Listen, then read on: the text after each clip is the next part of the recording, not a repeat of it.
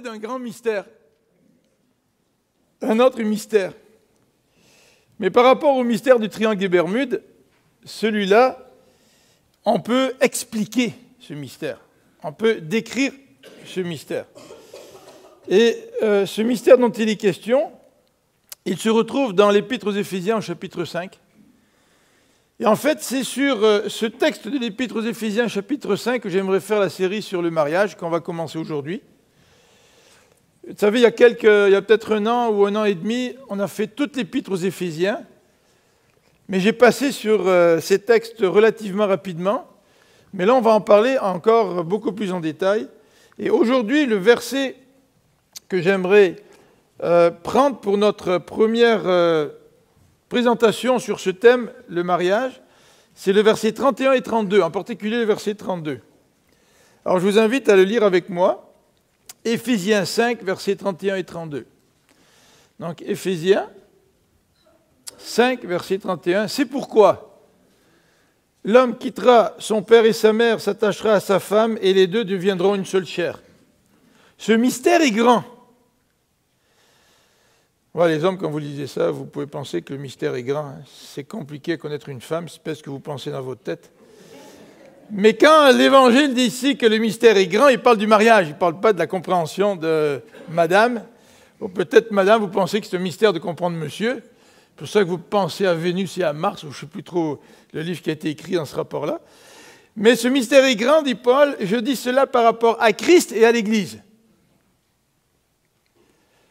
Alors d'emblée, j'aimerais euh, répondre à cette question, pourquoi faire une série sur le mariage?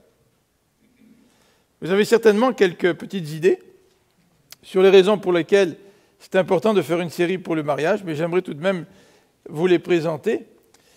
La première raison, c'est qu'il existe dans notre société des fausses perceptions sur le mariage, des mauvaises perceptions sur le mariage. Si vous venez d'un foyer stable, vos parents vous ont donné un bel exemple de ce que c'était qu'une euh, vie à deux dans le sein du mariage. Ils ont été heureux. Comme on dit, leur mariage a connu du succès. Mais lorsque vous-même vous vous mariez, vous vous rendez compte que, le défi devant vous est bien plus dur que ce que vous vous étiez imaginé d'abord. Alors vous avez une certaine perception du mariage euh, à cause de votre arrière-plan puis de ce que vous vivez.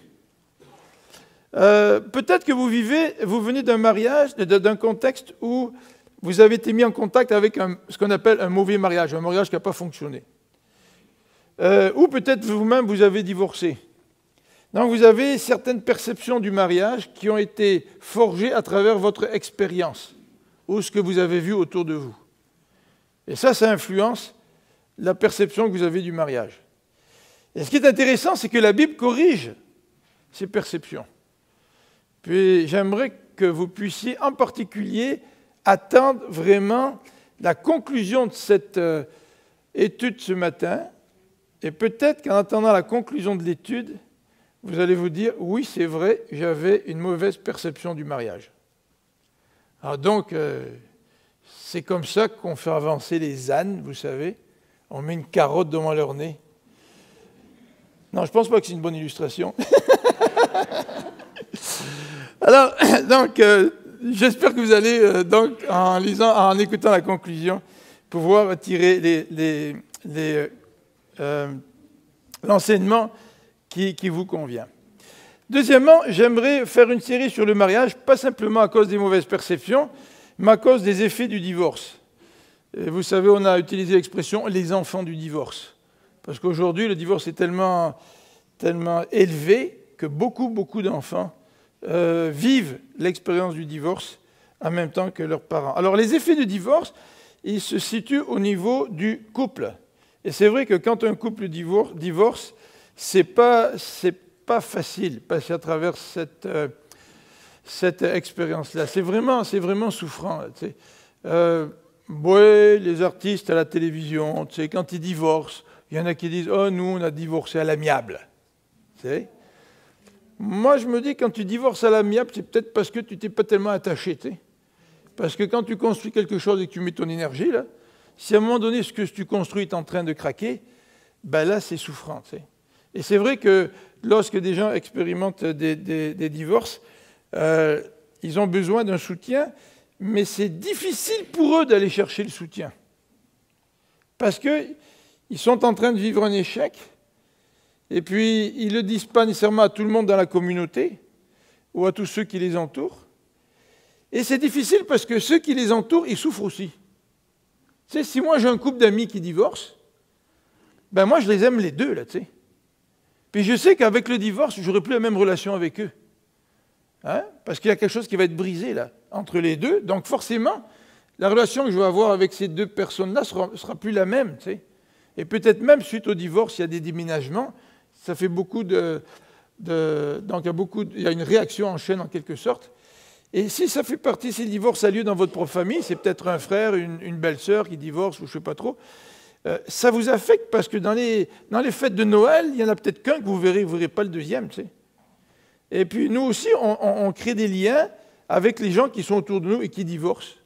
Donc les gens, les gens au sein de la communauté, ils souffrent. Au, au, sein du couple, ils souffrent, mais les gens au sein de la communauté, ils souffrent aussi. Et comme vous voyez à l'écran, entre les deux éléments que je vous présente, c'est aussi les enfants qui souffrent. Donc c'est toute la famille. Et on a beau vouloir être grand seigneur et dire on va faire ça comme il faut pour que les enfants souffrent le moins possible, mais veut, veut pas, les enfants souffrent pareil. Et euh, c'est sûr qu'on peut limiter la souffrance au, maximum, pour autant qu'on se divorce euh, sans trop de problèmes, sans trop de bagarres, les enfants souffrent pareil de cette situation-là. Donc pourquoi cette série? À cause des mauvaises perceptions du mariage, à cause des effets du divorce, et parce que je crois qu'on a besoin d'enseignement à ce niveau-là. Et l'enseignement, on en a besoin, nous qui sommes mariés, et on en a besoin, nous qui sommes célibataires. On a tous besoin d'enseignement sur le mariage. Peut-être que ceux qui sont célibataires vont se marier. Peut-être que si vous n'êtes pas marié, eh bien, le Seigneur veut que vous restiez célibataire, ça va, mais c'est important que vous ayez une bonne compréhension de ce que c'est que le mariage. Vous avez certainement des amis qui, sont mariés autour de vous, si vous êtes célibataire, et peut-être vous connaissez des gens dont le mariage est un petit peu chaotique. Hein. et vous pouvez vous aussi conseiller selon l'enseignement de la parole de Dieu. Donc il y a un besoin d'enseignement, en particulier pour les, personnes mariées, puis les célibataires aussi. il y a besoin d'enseignement en particulier parce qu'il semble qu'aujourd'hui on manque de temps et peut-être aussi d'argent. Dans les dernières décennies, dans nos églises évangéliques, tout le monde se rencontrait dimanche à l'église, dimanche matin. Une bonne partie venait dimanche soir, et encore une bonne partie se réunissait pendant la semaine. Aujourd'hui, la dynamique est un petit peu différente dans les grandes villes.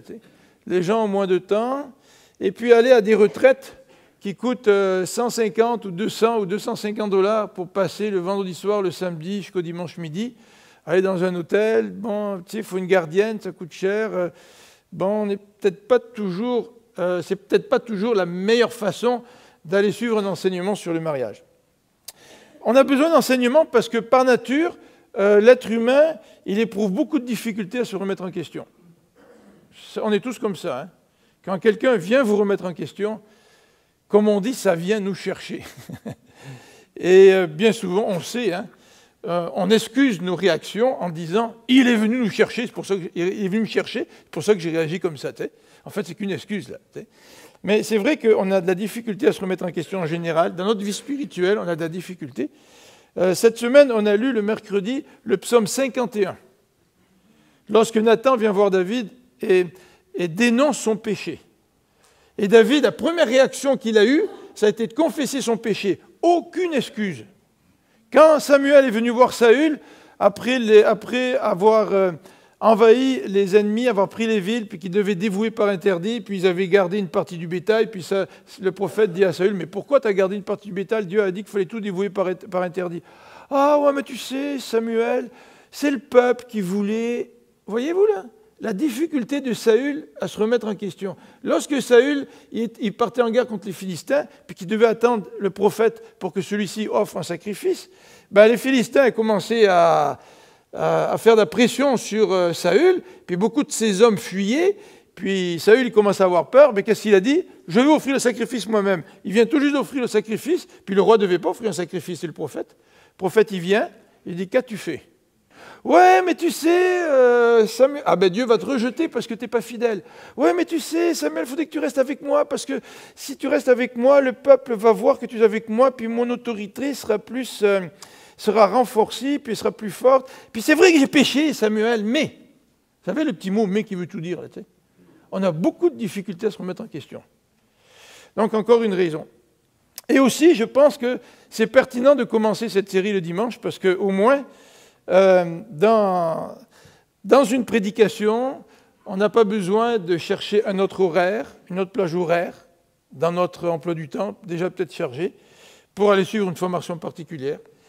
Et aussi parce que euh, euh, c'est peut-être pas tout à fait l'expression que j'aurais dû écrire, la pertinence des prédications, mais ce que j'aimerais vous proposer aussi, c'est que durant cette série, ce que j'aimerais, c'est que qu'on puisse, je vais vous donner les dates à l'occasion, se rencontrer entre plusieurs couples et pouvoir partager ensemble.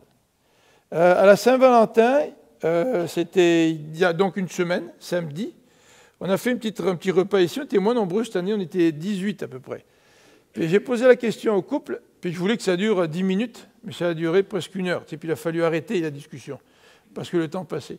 J'ai posé la question au couple, quel est l'élément fondamental pour vous, là, dans votre expérience, qui fait que votre couple dure Alors chacun donnait euh, ce qui lui venait à l'idée. Puis j'aurais demandé, ben, expliquez, expliquez pourquoi vous dites ça. Puis c'était vraiment intéressant de voir le, partage des, couples. Puis je pense que c'était très édifiant. Puis peut-être qu'on a besoin aussi de se parler entre nous, en tant que couple, de façon informelle, en réalisant que on n'est peut-être pas les seuls à vivre ce qu'on vit. Puis il y en a peut-être parmi nous qui ont vécu ce qu'on vit aujourd'hui, puis qui sont passés à travers. Puis de les entendre, ça peut peut-être nous aider aussi. Alors ce que je voudrais, c'est que ça soit pertinent comme, euh, comme enseignement, et puis euh, pas simplement au niveau de, ce que la Bible dit, mais de vous donner l'occasion, si vous voulez, de venir à des petites rencontres comme ça. Peut-être à un moment donné, ce sera un samedi matin ou, un mercredi soir. Je vais regarder un petit peu le calendrier. Donc c'est un petit peu ce que je vous propose. ce que je voudrais, je voudrais commencer, euh, puisqu'on parle du mariage, c'est un mystère, mais ce mystère, ce mariage, en quelque sorte, a une histoire. Et j'aimerais commencer en soulignant que l'histoire du mariage débute par ce qu'on appelle une institution divine. La Bible présente le mariage comme une institution divine. Et c'est la raison pour laquelle le mariage est transculturel. Quelles que soient les cultures, quels que soient les continents, quelles que soient les périodes de l'histoire, la société ou les sociétés ont euh, euh, reconnu l'importance du mariage pour le bien social. Puis quand nous, ici au Québec, au Québec, on veut changer la définition du mariage, ben, on balaye du revers de la main des siècles d'histoire, sous prétexte que nous sommes des gens évolués, et qu'il ne faut pas être rétrograde. Alors, quand on regarde la Bible, la Bible nous dit que le mariage est une institution divine. Et dans Matthieu 19, si vous voulez tourner dans Matthieu 19, vous pouvez, mais je ne le lirai pas euh, dans sa totalité. Mais dans Matthieu 19, les, pharisiens abordent Jésus et, veulent le coincer en disant Est-il permis à un homme de répudier sa femme pour un motif quelconque? Clairement, dans Matthieu 18, il est question de renvoyer sa femme. Donc l'arrière-plan, c'est quoi? C'est le divorce. Et dans Matthieu, 18, le contexte euh, du temps de Jésus nous présente deux euh, courants. Un courant traditionnel qui dit le mariage est important, il faut que tu restes fidèle à ta femme, à ton mari. Puis l'autre courant, beaucoup plus libéral, qui dit ben écoute, si ta femme n'a pas, pas, assez, bien, assez bien salé le, repas, ben, tu as une bonne raison pour la divorcer. Donc il y, avait, il y avait un courant très très libéral qui, euh, pour qui le divorce pouvait arriver pour n'importe quelle raison, des, raisons tout à fait triviales. Alors Jésus va répondre au verset 4 et il dit N'avez-vous pas lu que le Créateur au commencement fit l'homme et la femme et qu'il dit C'est pourquoi l'homme quittera son père et sa mère, s'attachera à sa femme, les deux deviendront une seule chair. Donc au cas où il pourrait y avoir une confusion, l'attachement dont il est question dans le Nouveau Testament, dans le texte d'Éphésiens qu'on a lu, et aussi dans le texte de Genèse, ça fait vraiment allusion au mariage. Dans Genèse, le mot mariage n'est pas employé. Le texte dit, tu t'attacheras à ta femme, tu feras une seule chair. Mais quand Jésus parle de ce texte dans la Genèse, c'est vraiment dans le contexte du mariage. Et il dit au verset 6, Ainsi, ils ne sont plus deux, mais ils sont une seule chair, que l'homme donc ne sépare pas ce que Dieu a joint. Et par la suite, les euh, pharisiens vont poser une question à Jésus, mais pourquoi Moïse a-t-il donné une lettre de divorce? Parce que, et puis Jésus répond, si euh, Dieu a permis euh, cette procédure de lettre de divorce, c'est à cause de la dureté de votre cœur. Alors, le contexte de Matthieu, c'est vraiment un contexte de mariage. Et si vous lisez, donc pas simplement le texte de Matthieu, qui nous parle de, de cette institution divine, mais si vous lisez dans, Genèse 2, euh, le, récit ou le, verset qui, revient dans Genèse 2, donc le verset auquel Jésus fait allusion, il se retrouve euh, euh, au verset 24, c'est pourquoi l'homme quittera son père et sa mère et s'attachera à sa femme, il deviendra une seule chair. Mais le, chapitre 2 de Genèse nous montre les bienfaits du mariage. C'est intéressant, ne, ne trouvez-vous pas que dans la Genèse, lorsque Dieu crée, à chaque journée de création, ça se termine en disant tout ce que Dieu avait fait était, était bon. Et même, je me demande si n'y a pas l'expression très bon après avoir tout fini. Donc tout est bon, tout est fantastique, tout est génial, sauf qu'au verset 18, Dieu fait passer devant Adam tous les animaux de la création, puis Adam leur donne un nom, parce que c'est lui le gérant de la création. Hein. Dieu a placé l'homme pour être gérant de la création, non pas d'en abuser comme on en fait aujourd'hui. Donc en tant que gérant, il donne des noms. C'est le, symbole de l'autorité quand tu donnes un nom. Et euh, le texte nous dit que ce n'était pas bon que l'homme soit seul. Voyez-vous le contraste entre tout ce qui est bon dans la création et la solitude de l'homme? C'est pas bon que l'homme soit seul. Alors Dieu a fait tomber un profond sommeil sur Adam. Et puis il prend, d'après le texte, une, euh, de ses côtes, et puis il crée, il crée, il crée euh, donc Ève. Et euh, quand il a vu euh, Ève, l'homme dit au verset 23, Voici cette fois celle qui est haut de mes os et chair de ma, de ma chair. C'est-à-dire que Adam, il a cherché un vis-à-vis. Parce que c'est le mot qui est employé ici, on, dans la Genèse. la femme, c'est un vis-à-vis de l'homme ce n'est pas quelqu'un qui est inférieur à l'homme, ni supérieur à l'homme, c'est un vis-à-vis. Et l'homme, dans sa quête de trouver quelqu'un qui pourrait le comprendre, qui pourrait être son vis-à-vis, avec qui il aurait l'intimité à laquelle il aspirait, ben, il ne l'a pas trouvé dans toute la création. Il l'a trouvé juste au moment où Dieu l'a créé. Donc, voyez-vous, déjà dès la Genèse, la Genèse nous, nous présente certains bienfaits du mariage. Alors, on pourrait énumérer toutes sortes de bienfaits. Et si ça vous intéresse, si vous lisez l'anglais, euh, Tim Keller a écrit un livre sur le mariage qui vient de sortir il y a quelques temps. Et j'ai lu ce, livre pour mes, présentations et à plusieurs reprises, je vais certainement l'utiliser. Mais aux États-Unis, ils ont fait des sondages sur le mariage, le divorce, et, il y a toutes sortes de chiffres que, Tim Keller euh, reprend dans son livre qui sont très intéressants au sujet notamment des bienfaits du mariage. Des bienfaits non seulement sociaux, mais aussi des bienfaits pour le couple la famille et aussi pour l'individu. Alors, le chapitre 3 de la Genèse nous présente le récit, de la chute. Vous vous rappelez ce fameux récit euh, qui nous montre que l'être humain ne voulait plus être dépendant de Dieu et qui s'est révolté contre Dieu. Et la première conséquence du, euh, récit de la chute dans Genèse 3, c'est que le mariage est malmené. Tout de suite, là, ce péché euh, affecte la relation entre Adam et Ève. Et ça, c'est extrêmement important de, le noter, et ça va influencer la conception que l'on a du, mariage. dans l'histoire du mariage, ce qu'il faut retenir, euh, on pourrait bien sûr dire beaucoup de choses, c'est qu'il y, a eu un changement radical concernant le, mariage. Tout d'abord, vous avez la position euh, traditionnelle. Et dans la position traditionnelle, on peut euh, souligner la position des catholiques et des protestants. Les catholiques et les protestants ont souligné que le but du mariage, c'est d'avoir un cadre pour un engagement à vie et pour que l'amour puisse se développer entre le mari et avec, avec sa femme. C'est un lien solennel euh, c'est un cadre au sein duquel les deux personnes euh, cherchent les intérêts et le bien de l'autre. Donc il y a un engagement, euh, les deux acceptent des limites. Vous savez, quand, on fait un mariage, on pose la question, est-ce que tu es prêt à renoncer à tout autre?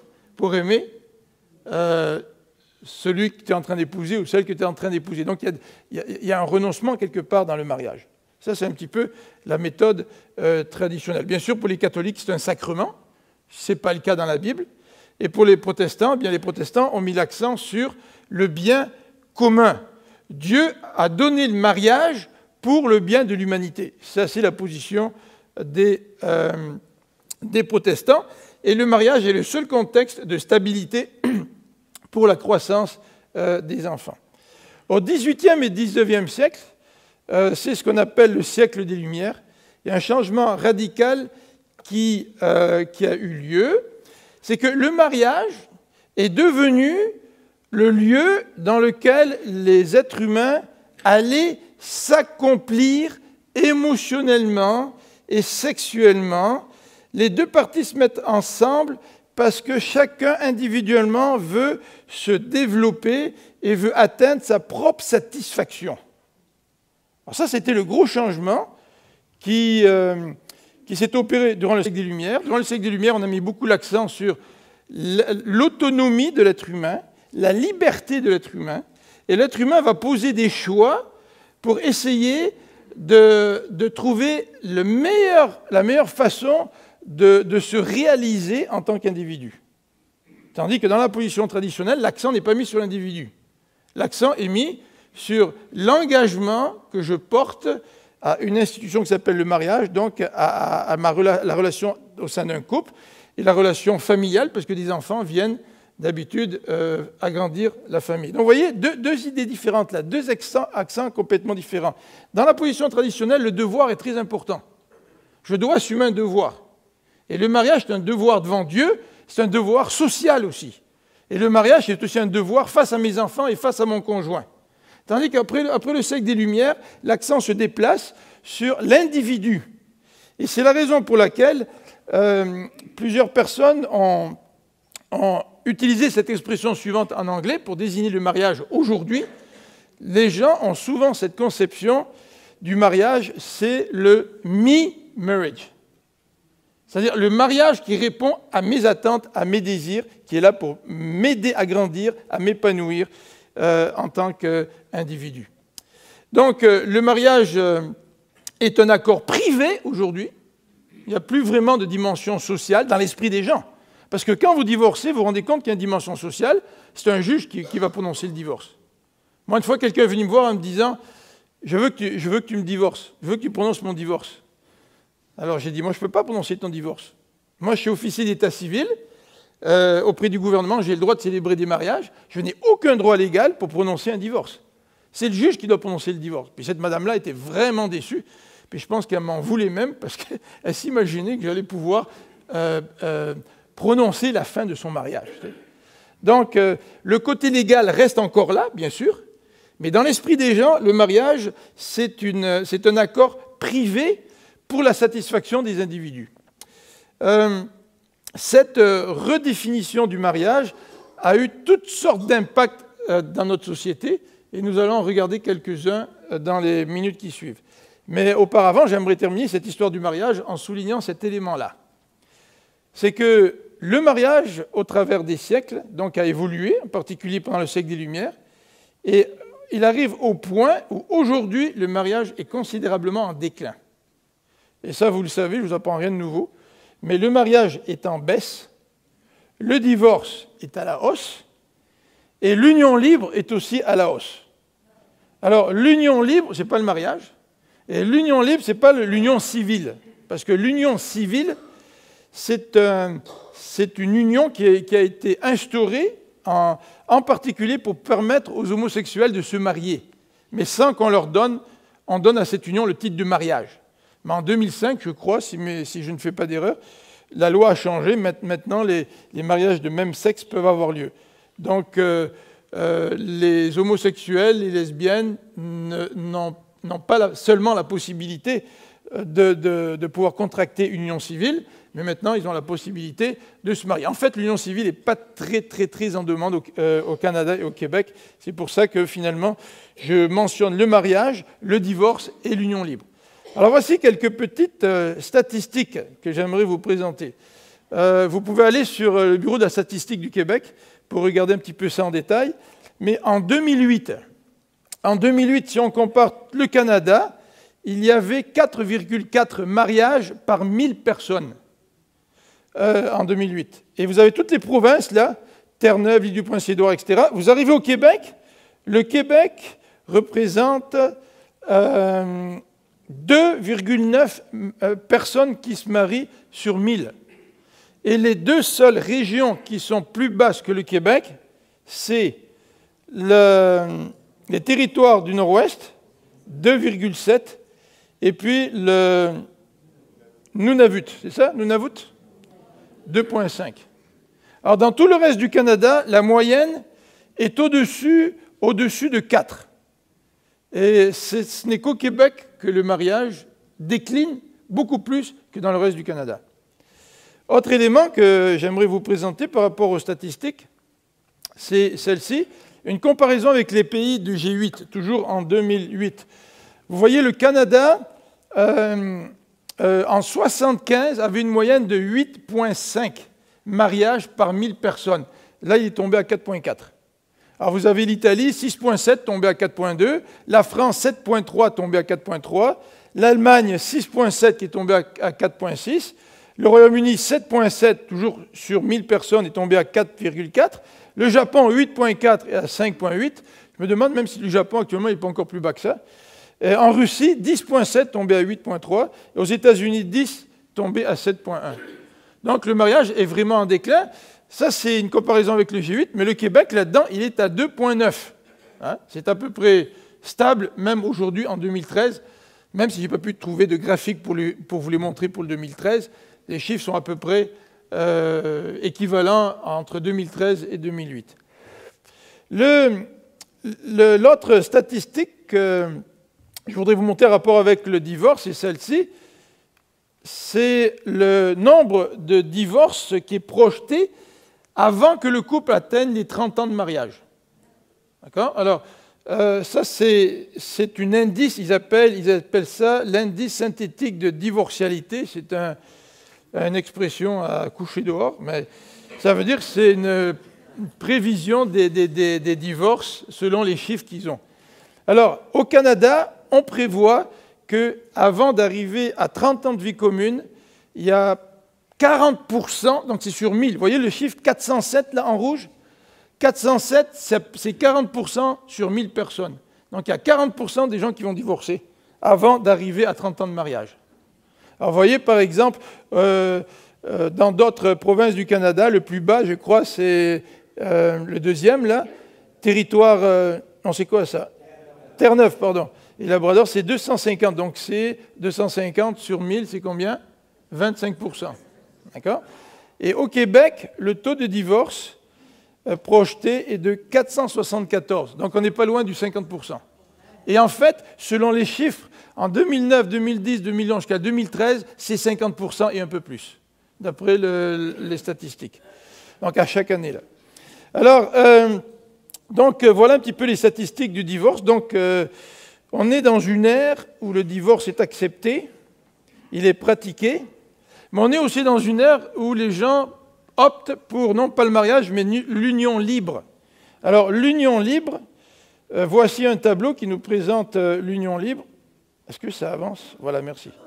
En 1981, en 1981 toujours par, euh, en pourcentage cette fois-ci, il y avait 8,2% de gens qui vivaient en union libre au lieu de se marier. 91,8% pour le mariage. Vous voyez les deux colonnes là Vous sautez en 2011, il y a 37% de gens maintenant qui vivent en union libre et 62% euh, qui se marient. Donc le mariage est en déclin. Et c'est vrai qu'au Québec, on est les champions de l'union libre. Je me demande si on n'est même pas le champion dans le monde entier.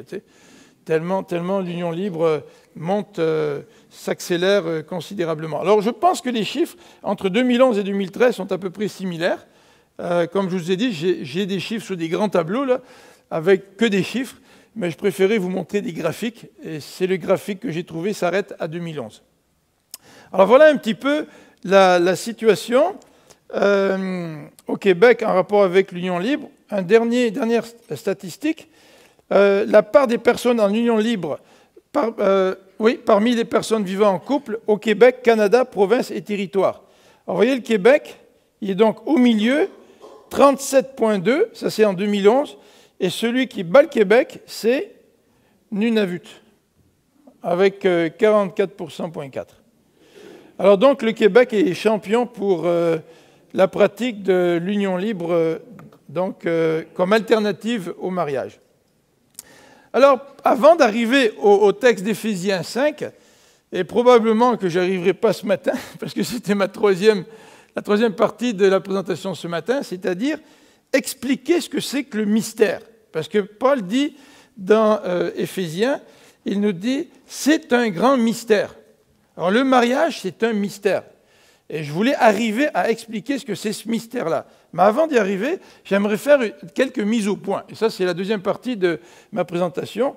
Quelques mises au point. La première mise au point euh, touche des mensonges auxquels nous croyons en rapport avec le mariage. Alors nous croyons plusieurs, euh, plusieurs mensonges. Le premier mensonge, c'est que le mariage est sexuellement ennuyeux. C'est ce que bien des gens disent dans la société. Vous savez, Tim Keller, quand il a écrit son livre sur le mariage, il a écrit pour plusieurs raisons. Ça faisait 37 ans qu'il est, marié avec Cathy, sa femme. Et une autre raison pour laquelle il l'a écrite, c'est qu'il est pasteur à New York et les célibataires à New York représentent un pourcentage très élevé de la société. Et dans son église, les trois quarts de ses membres sont des célibataires.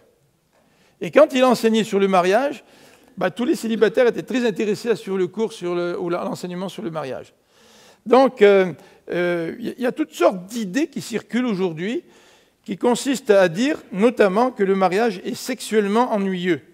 Et lorsque le mariage fonctionne, et quand même le mariage connaît quand même beaucoup de succès, euh, parmi les couples qui, qui durent, s'il y en a un sur deux qui vont vivre en échec avant 30 ans de mariage, les autres qui continuent jusqu'à la fin, là, euh, dans, la plupart de ces couples-là, ils sont tout de même heureux, en particulier aussi dans leur vie sexuelle. Euh, avant 30 ans, Deuxième euh, mensonge, c'est que la plupart, donc, la plupart des, des, gens sont, sont malheureux. Mais d'après les statistiques que Tim Keller nous donne dans son livre, c'est pas pas du tout vrai. Les statistiques nous montrent que 62% des gens mariés sont très heureux. Alors ça, c'est des statistiques américaines. Malheureusement, je n'ai pas trouvé des statistiques québécoises ou canadiennes euh, à ce niveau-là. Euh, deux tiers des mariages malheureux seront heureux dans l'espace de cinq ans s'ils décident de rester ensemble et travailler leur relation. Ça, c'est les statistiques que Tim Keller nous présente dans son livre. Deux tiers des mariages qui sont malheureux vont devenir des mariages heureux en l'espace de 5 ans en moyenne, s'ils restent ensemble et décident de travailler leur relation de couple. Alors donc la plupart des mariages, quand on dit la plupart des mariages sont malheureux, c'est peut-être un autre mensonge sur lequel la société se rabat pour peut-être rejeter l'institution du mariage. Un autre mensonge, c'est que la cohabitation augmente le succès du mariage. Euh, alors on se dit, euh, on va cohabiter, ça coûte cher de se marier, donc on préfère cohabiter au lieu de se marier. Et donc on, se, on vit ensemble, mais on n'est pas vraiment marié, on n'a pas l'engagement qu'on prend quand on a le mariage, quand on, se marie. Et euh, euh, on refuse notamment de se marier parce qu'on dit que ça coûte cher se marier. Euh, les statistiques, toujours de notre voisin du Sud, nous disent que les gens mariés sont 75% plus riches à la retraite que ceux qui ne sont jamais mariés. Ça, moi, j'ai regardé ça, j'étais vraiment surpris. Moi, je pensais que les gens célibataires étaient plus riches. Non, mais c'est vrai, tu regardes des, amis célibataires, ils ont une belle voiture, ils ont un train de vie, puis là, toi, tu es marié, tu te dis, il faut que je paye le soccer, les cours de musique, les cours de danse à mes enfants, et puis je renonce à, utiliser de l'argent pour mes propres loisirs, tu sais. Puis là, tu vois tes amis célibataires qui semblent bien, ça semble bien rouler financièrement parlant. Mais d'après les statistiques, 75% des, gens mariés sont plus riches à la retraite euh, que ceux qui ne sont jamais mariés ou ceux qui ont divorcé euh, ou qui ne se sont pas remariés. En fait, les gens mariés euh, sont obligés de gérer leurs finances. Et quand tu es obligé de gérer tes finances parce que tu le fais pour le bien de ton couple et le bien de tes enfants, eh bien, tu es quelqu'un qui apprend à économiser ton argent. Et on le sait, hein, les gens qui gagnent le gros lot, la plupart des gens qui gagnent le gros lot, ils n'ont plus rien au bout de 5 ans. Pourquoi? C'est parce que plus tu en as, plus tu en dépenses sans compter. Alors, la cohabitation n'augmente pas nécessairement le succès du mariage. En fait, les statistiques nous disent que le taux de gens qui se séparent euh, est beaucoup plus élevé parmi ceux qui cohabitent que ceux qui se marient. Euh, alors c'est une fausseté de croire qu'en cohabitant, on va se donner davantage de chances pour réussir notre mariage. Ce qui fait qu'on réussit notre mariage, c'est autre chose que de cohabiter. C'est autre chose. Et ça, on le verra euh, un peu plus tard. Une autre mise au point, c'est important de parler des, des, attentes versus la réalité. Vous savez, ceux qui rentrent dans le mariage en pensant que le mariage, c'est une institution qui leur permet de s'épanouir individuellement. Donc ces gens-là, ceux qui adhèrent au me-marriage, hein, je me marie à cause de moi, hein, pour mon bien-être, ces gens-là rentrent ou veulent rentrer dans le mariage en cherchant un partenaire qui va pouvoir les aider à grandir, à se développer eux-mêmes, à se développer au niveau émotionnel, à se développer dans leur vie sexuelle, à se développer dans tous les rapports de leur, euh, de leur personne. Donc leur attente qu'ils développent, c'est une attente euh, qui met l'accent sur un partenaire idéal. Alors je cherche le partenaire idéal.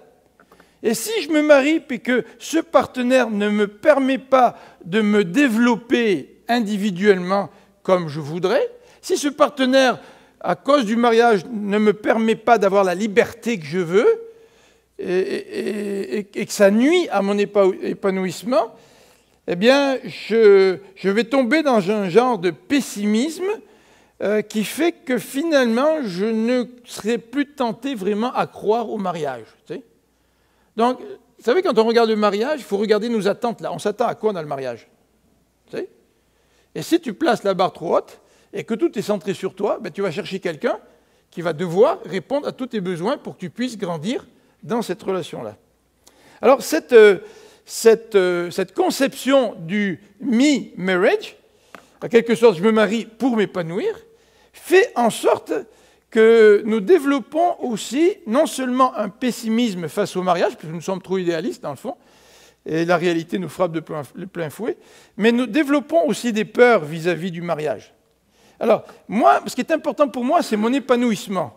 Alors, pour que je sois épanoui, eh bien, euh, je veux continuer à être libre, je veux continuer à être autonome, je veux continuer à faire des choix pour moi, mon développement personnel. Mais dans un sens, j'ai peur parce que je sais très bien que moi-même, je ne suis pas parfait. Ah, j'ai un peu de mal à l'avouer, tu sais, mais moi-même, je ne suis pas parfait. Alors moi, j'ai besoin de quelqu'un qui soit parfait ou qui m'accepte tel que je suis, sans que je change trop, parce que je n'ai pas tellement envie de changer, tu sais. Moi, je tiens mon autonomie, je tiens ma liberté. Donc, je voudrais vivre avec quelqu'un euh, pour, garder ces avantages-là, et en même temps, essayer d'avoir les avantages d'une vie à deux. Mais je n'ai plus la conception traditionnelle du mariage qui dit que je rentre dans le mariage pour euh, le bien de l'autre. Je veux canaliser ma liberté. Je veux canaliser mon autonomie pour le bien de l'autre, pour le bien des enfants. Non, non, moi je rentre dans le mariage parce que le mariage, c'est le moyen pour moi de m'épanouir. Mais là, je me rends compte que moi, je suis j'ai des défauts, puis j'aime pas trop ça qu'on mette l'accent sur mes défauts. Donc euh, j'ai peur que l'autre euh, réagisse face à mes défauts. Hein. Alors qu'est-ce que je fais? Ben, Je développe ce qu'un auteur a appelé, en anglais bien sûr, je vais vous le traduire en français, ma traduction, de flaomatique. Ça un anglais, fla, ça veut dire quoi? Ça veut dire des défauts. Hein? Alors là, là, je regarde les défauts chez l'autre, puis je me dis non, non, non, non, l'autre, là, il ne pourra pas m'aider à m'épanouir, il ne pourra pas m'aider à me développer moi-même. Donc, euh, de toute manière, j'ai peur de mes propres défauts, je ne veux pas trop l'avouer. Donc, euh, ouais, je commence à sortir avec telle telle personne. Mais tu vois, là, tel défaut, tel défaut, là. Non, non, moi, euh, ma liberté, mon indépendance, mon autonomie, je, veux grandir en tant que personne. Non, non, elle, ne pourra pas vraiment m'aider à ce niveau-là. Comprenez-vous la réaction des gens dans, la société aujourd'hui quand on définit le mariage comme étant de me marriage C'est moi, pour moi je me marie, c'est moi qui suis en premier, c'est pour mon propre intérêt que je me marie en premier. Alors peut-être que on ne raisonne pas de cette façon-là quand on pense au mariage. Hein, peut-être que même parmi nous, on ne s'est jamais assis en disant Bon, ben moi, je vais me marier, moi, je vais me marier avec Marie-France parce que je veux que Marie-France elle, m'aide à m'épanouir personnellement, euh, elle m'aide à, vivre ma pleine liberté, ma pleine autonomie. Peut-être que je n'ai pas, pas, pas peut-être réfléchi comme ça.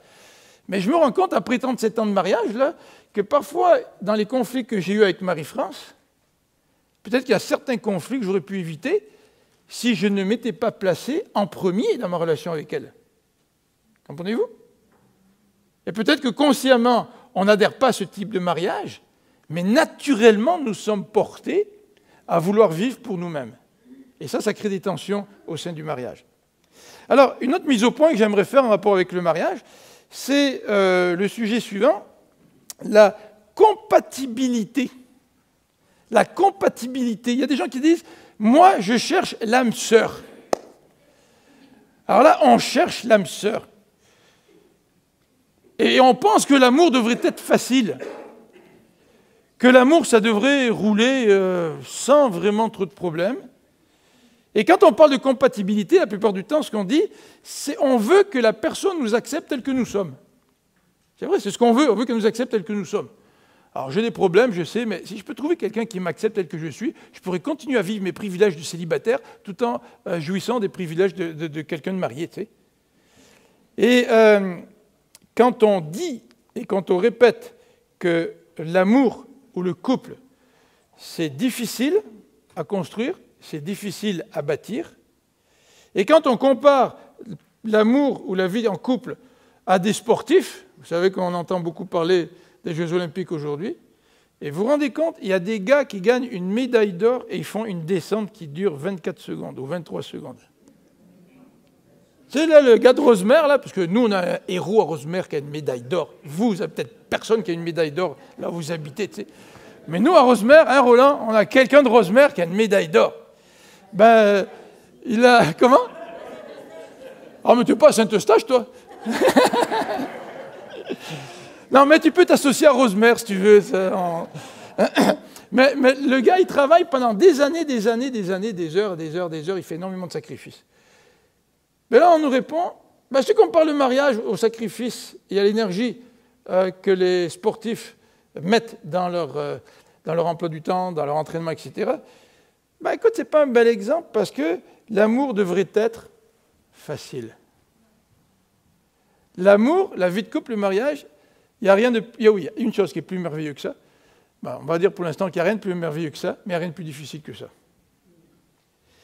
Et de dire que il faudrait que je trouve une âme sœur avec qui je serai compatible. Puis tout va rouler comme sur des roulettes. Euh, on va avoir les mêmes désirs, on va avoir les mêmes objectifs, on va avoir les mêmes loisirs, on va avoir à peu près le même âge. Il euh, n'y a rien de plus faux que cela. En fait, nous épousons tous la mauvaise personne. C'est encourageant, hein? À part Marie-France, elle, elle s'est pas trompée. Nous épousons tous la mauvaise personne. Alors c'est certain que quand vous vous mariez, vous ne voulez pas rendre la chose plus compliquée. Hein. Alors il y a des nuances dans, la compatibilité ou par l'incompatibilité, il y a des nuances. Alors si vous avez 20 ans, vous épousez quelqu'un de 80 ans, euh, vous augmentez le problème de compatibilité. Si vous épousez quelqu'un qui, euh, qui, a une culture complètement différente de la vôtre et qui appartient à une race complètement différente de la vôtre, vous allez augmenter le, taux d'incompatibilité. Je ne veux pas dire par là que je suis contre les mariages euh, raciaux, par exemple, mais c'est sûr qu'au Québec, on est une culture euh, multiculturelle, et puis euh, il y, a, quand même des mariages interculturels qui se font, et il y a souvent des problèmes dus à cela. Si, par exemple, vous avez un lien très très fort avec votre famille, puis vous n'avez pas vraiment quitté votre père et votre mère pour, pour, vous unir à quelqu'un d'autre, ben, le mariage va se faire à trois pratiquement, tu. Puis là, un mariage à trois, c'est vraiment difficile. Hein, il y a un proverbe chinois qui dit il n'y a pas de place pour deux femmes dans la même cuisine. Puis si dans le mariage, il y a la belle-mère qui est là, ou le beau-père, là, le taux d'incompatibilité va, augmenter. par là même, le succès du mariage va, peut-être être mis en question. Mais ceci dit, là, ceci dit, nous épousons tous la, mauvaise personne. Et pourquoi on épouse tous la mauvaise personne Quelqu'un l'a dit, moi, j'ai vécu avec cinq hommes. Hein Moi, quand j'ai lu ça, je me suis dit, mais je pensais qu'elle était chrétienne, la madame, là, j'ai vécu avec cinq hommes. Mais elle dit, j'ai vécu avec cinq hommes parce que mon mari a changé durant cinq épisodes différents de sa vie. La personne que tu maries, là, c'est pas celle avec qui tu vas finir ta vie. Celle avec qui tu vas finir ta vie, admettons que le mariage marche bien, là, ce sera une personne différente elle aura changé, cette personne-là. Alors pour cette raison, bien sûr, les deux changent. Bien sûr, les deux changent. Pour cette raison, on n'épouse on pas la bonne personne. Parce que quand on épouse quelqu'un, on a toujours une idée de qui est la personne. Puis après la lune de miel, on s'aperçoit que cette personne, ou l'idée que nous avons d'elle, ce n'est pas tout à fait la réalité. Alors d'enfant, quand tu veux chercher l'âme sœur, accroche-toi là. Et la deuxième raison, vous savez pourquoi nous épousons tous la mauvaise personne? La deuxième raison, c'est à cause du péché. Je suis pécheur, et à cause de mon péché, ça va entraîner des problèmes relationnels avec ma femme. Et elle, elle est plus pécheresse, non pas plus, elle est aussi pécheresse que moi, et à cause de son péché, ça va entraîner toutes sortes de problèmes dans, notre relation. Donc, euh, euh, pour ceux qui fréquentent ou qui euh, hésitent à se marier, encouragez-vous. De toute manière, vous allez faire le mauvais choix. Vous épousez la mauvaise personne. Même, même si, bon, l'expression, l'expression on a épousé la bonne personne, elle est aussi valable, et vous comprenez dans quel contexte on le dit là. Hein. Alors, le dernier élément que, je voudrais vous présenter, je vais vous le donner juste en guise d'apéritif, c'est celui-ci. C'est que le mariage est un mystère. Dans, tout le contexte qu'on vient de dire, dans, ce contexte-là, comment ça se fait que les mariages peuvent se faire? Comment ça se fait que les mariages peuvent fonctionner? Comment ça se fait que les mariages peuvent être un succès? Alors que dans le fond, la personne que j'ai choisie, c'est pas vraiment c'est pas vraiment la bonne personne parce qu'elle est pécheresse, puis moi, je compte sur elle pour m'épanouir, pour qu'elle respecte ma liberté, tout ça. Puis je me rends compte que dans le fond, c'est pas la bonne personne. Tu sais. Mais alors, comment un mariage peut-il réussir? Comment un mariage peut-il réussir? Et la Bible nous parle de ça. Et je pense qu'aujourd'hui, on a besoin de cet enseignement-là. Puis j'aimerais juste vous donner deux, deux, trois éléments rapidement. La Bible dit que c'est un mystère, mais l'expression mystère dans Éphésiens, ça ne veut pas référer à quelque chose qu'on ne connaît pas. L'expression mystère dans Éphésiens, ça veut dire que Dieu veut nous révéler quelque chose qu'on ne connaît pas, mais il veut nous le faire connaître. Donc, c'est-à-dire, naturellement, en tant qu'individu, je ne sais pas ce que c'est que le mariage. C'est Dieu qui va me faire connaître ce que c'est véritablement le mariage. Ça, c'est le sens que Paul donne au mot mystère. Deuxièmement, on va regarder l'exemple de Jésus-Christ.